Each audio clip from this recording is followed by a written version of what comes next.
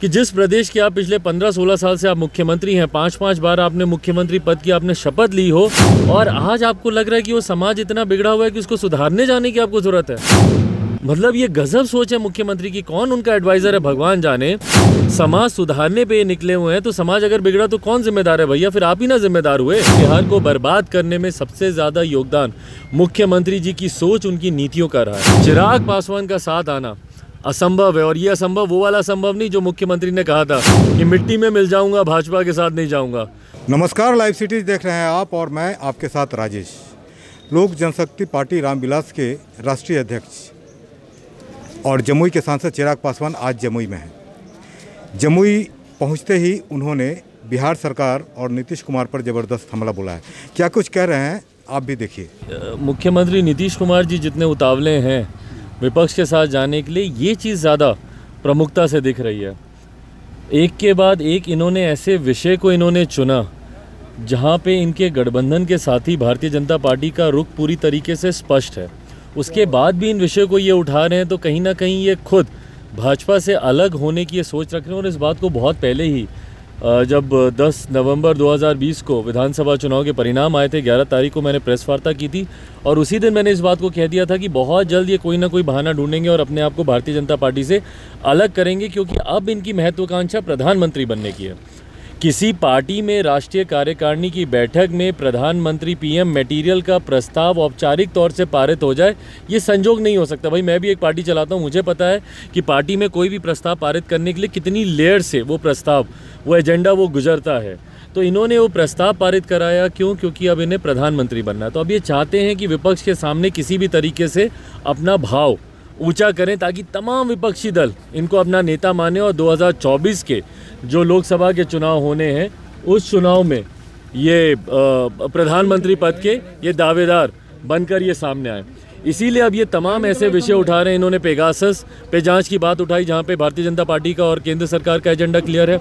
उसके बाद इन्होंने जातीय जनगणना को लेकर इन्होंने उठाया, जनसंख्या निरंतर नियंत्रण कानून को लेकर इन्होंने बात को उठाया, विशेष राज के दर्जे की मांग ये उठा रहे हैं और इन तमाम बातों पर भारतीय जनता पार्टी का और केंद्र सरकार का रुख स्पष्ट है। अब इनकी सोच बस यही है कि किसी भी तरीके से महागठबंधन या यूपीए का हिस्सा बने और 2024 में मौजूदा प्रधानमंत्री नरेंद्र मोदी जी के सामने प्रधानमंत्री पद के दावेदार बन के मौजूद हैं। आरजेडी का ऑफ़र तो आपको भी मिल रहा है चिराग जी। ऐसे में अगर नीतीश कुमार उधर जाते हैं तो आपका क्या रुख होगा? देखिए एक बात स्पष्ट है कि नीतीश कुमार जी के साथ चिराग पासवान या लोक जनशक्ति पार्टी रामविलास कभी उनके साथ नहीं रह सकती। उनकी नीतियों पर ही मुझे भरोसा नहीं है। मैं मानता हूँ कि बिहार को बर्बाद करने में सबसे ज़्यादा योगदान मुख्यमंत्री जी की सोच उनकी नीतियों का रहा है। साथ निश्चय से सोचते हैं कि बिहार में विकास होगा। आज आप जाके देख लीजिए क्या नल जल की का, का हाल है। मैं अपने लोकसभा क्षेत्र में हूँ। यहीं पर इतनी बदहाल स्थिति है इनकी योजनाओं की जो धरातल पर नहीं उतरती। खाद को लेकर भाई किसान आज जहाँ एक तरफ़ दूसरे कारणों से आंदोलन कर रहे हैं वहीं बिहार में खाद को लेकर आप देख लीजिए कितनी समस्या। कहीं पे बता दीजिए खाद किसानों को मिल रही हो। काला बाजारी हो रही है उसकी अलग। औने पौने दाम पर खाद किसानों को लेने पे मजबूर किया जा रहा है, वो अलग। तो इन तमाम चीज़ों पर राज्य सरकार और कृषि प्रधान प्रदेश है भैया हमारा। बिहार में अगर इस तरीके की किसानों को समस्या होगी, सिंचाई की समस्या होगी तो कौन सी ऐसी नीति है जिसकी वजह से हमारा प्रदेश आगे बढ़ रहा है? तो मुख्यमंत्री नीतीश कुमार जी के साथ, चिराग पासवान का साथ आना। असंभव है, और ये असंभव, वो वाला संभव नहीं जो मुख्यमंत्री ने कहा था कि मिट्टी में मिल जाऊँगा, भाजपा के साथ नहीं जाऊँगा। वो अपनी बातों पे टिके, नहीं टिके। पर चिराग पासवान अपनी बातों पे टिकने वाला व्यक्ति अकेले चुनाव लड़ने की बात की थी मैं अकेले चुनाव लड़ा। और आज भी मैं कह रहा हूँ कि नीतीश कुमार जी के साथ जाना लोक जनशक्ति पार्टी रामविलास के लिए समाज सुधार यात्रा पर निकले थे नीतीश कुमार। क्या लगता है कि समाज बिगड़ा हुआ है? सोचिए कितनी शर्म की बात है ये कि जिस प्रदेश के आप पिछले 15-16 साल से आप मुख्यमंत्री हैं पाँच पाँच बार आपने मुख्यमंत्री पद की आपने शपथ ली हो और आज आपको लग रहा है कि वो समाज इतना बिगड़ा हुआ है कि उसको सुधारने जाने की आपको ज़रूरत है। मतलब ये गजब सोच है मुख्यमंत्री की। कौन उनका एडवाइज़र है? भगवान जाने। समाज सुधारने पे ये निकले हुए हैं तो समाज अगर बिगड़ा तो कौन जिम्मेदार है भैया? फिर आप ही ना जिम्मेदार हुए। क्लास में अगर बच्चे पढ़ाई नहीं करते हैं तो हेडमास्टर टीचर ना जिम्मेदार होता है कि भैया क्यों? तो आज आप बिहारियों को आप बोल रहे हैं कि उनको सुधारने की ज़रूरत है। जिस समाज को आपने बांटने में कोई कसर नहीं छोड़ी, आज उस समाज को आप सुधारने जा रहे हैं।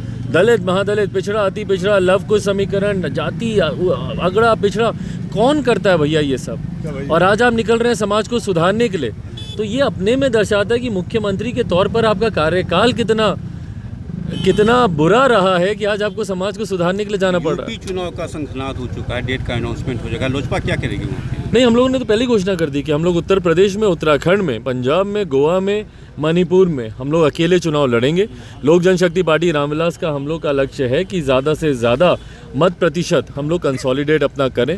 तो इसलिए तमाम सीटों पर हम लोग अकेले चुनाव लड़ेंगे। उत्तर प्रदेश और उत्तराखंड की मुझे लगता है बहुत जल्द पहली सूची भी हम लोग इसी हफ़्ते तक हम लोग रिलीज़ भी करेंगे एमएलसी चुनाव का क्या करेंगे? बिहार में एमएलसी चुनाव। एमएलसी में अभी बिहार का जो संसदीय बोर्ड है वो इस पर बैठक कर रहा है और बहुत जल्द मुझे लगता है संसदीय बोर्ड के अध्यक्ष उल्लास पांडे जी के द्वारा इसकी औपचारिक घोषणा कर दी जाए शराबबंदी कानून जिस तरह से बिहार में चल रहा है नीतीश कुमार हाई तो मचाए हुए हैं। हाय तौबा सिर्फ़ उनको अब शराबबंदी दिखता है भाई। प्रदेश में कोई ना है जिसको शराब पीनी है। भैया, जो पलायन करके बाहर गए हुए पहले उनको तो वापस लाने की व्यवस्था कीजिए। शराबबंदी शराबबंदी खाद यहाँ पे मिल नहीं रही है। आपको शराबबंदी के अलावा कुछ दिखता नहीं है। यहाँ पर डॉक्टर्स के पास लोग जा रहे हैं तो अपनी आँख का इलाज कराने, मोतियाबिंद के लिए जा रहे हैं तो अपनी आँख निकलवा के आ रहे हैं। आपको शराबबंदी दिखता है। और शराबबंदी पे भी जो जहरीली शराब पीने से जो लोग मर रहे हैं, उसकी चिंता इनको कहीं नहीं हो रही। एक बार किसी पीड़ित मृतक परिवार के यहाँ ये जाना इन्होंने ज़रूरी नहीं समझा। तो शराबबंदी का सिर्फ़ हवा है, सफल इनसे होना नहीं। मास्क पहनना ज़रूरी है भीड़ भाड़ में जाएँ तो दो गज़ की दूरी रखें। हम लोग भी पूरी तरीके से प्रयास करते हैं कि हम लोग इसका पालन करें। बट ऐसे संकट की घड़ी में, क्षेत्र में, प्रदेश में रहना भी ज़रूरी है। आज मैं ज़िला अस्पताल का, सदर अस्पताल का ही निरीक्षण मैं करने जा रहा हूँ। देखने जा रहा हूँ कि भगवान ना करे बट कल को अगर परिस्थिति और ज़्यादा भयावह होती है तो ऑक्सीजन बेड आइसोलेशन सेंटर उसके क्या हालात हैं, नहीं हैं। समय आने पर कोई कुआँ खोदे उससे अच्छा है कि पहले ही सारी तैयारी कर ली जाए उसी क्रम में आज मैं यहाँ पर आया सर आप आज हॉस्पिटल जा रहे हैं। हॉस्पिटल में वेंटिलेटर के बारे में ज़रूर जानकारी लीजिएगा क्योंकि वेंटिलेटर यहाँ पर पाँच आया था। जी, बिल्कुल। जा चुका है और फिर दौर आ चुका है इस तरह का। जी बिल्कुल। यही तमाम चीज़ें इन्हीं की जानकारी लेने और उस व्यवस्था को पहले से ही सुदृढ़ करने के ही प्रयास से मैं जा रहा हूँ।